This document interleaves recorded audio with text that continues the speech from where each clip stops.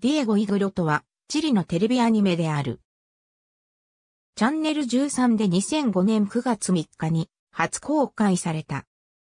ディエゴ・プラエン、ロドルフォ・バスケス・グロト、エン、ダン・ロドリゲス・ダニーロ・パニアグア、エン、バネッサ・シルバイ・シュマイル・ドロゲット、エン、レネ・ピノチェト・バイオレット・オチョア・エン、ビビアーナ・ナバロ・アルマンド・エン、クリスティアン・カルバハル・エスミルナ、エン、マルセラ・アロヤベ・ソボ、マルガリータ・エン、ソレダック・エレロ、ラロ・エン、エドゥアルド・バレンズウェラ・ドンルデン、エン、フアンケ・サダ副大校長カセレス、エン、セバスチャン・コレアイ・バカチ先生エン、マルセラ・アロヤベ・カベザス先生エン、サンドロ・ラレナス、クーボ・ネグロ、パイネーロズ・イエヌラ・アニマシオン、コップ・アセト・アセオネ・アンコストス、ワイチェスチョン。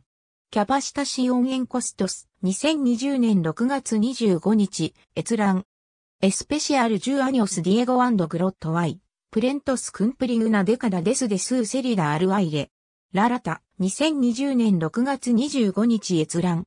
ABCDEFGHIJKLM、ディエゴワイグロット。ドープラヘウィキ、2020年6月25日閲覧。